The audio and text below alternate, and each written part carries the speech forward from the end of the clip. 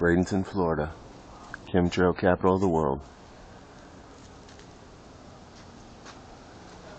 They are poison. The FDA is poisoning the American people, and it's genocide.